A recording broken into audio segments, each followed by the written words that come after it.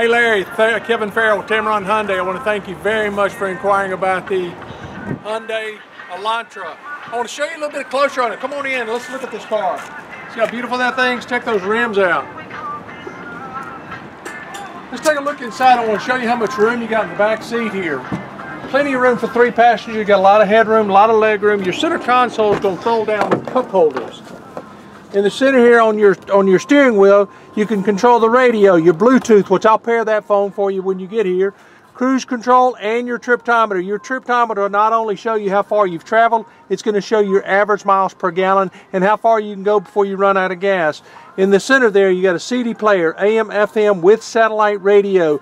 You got USB and iPod hookup.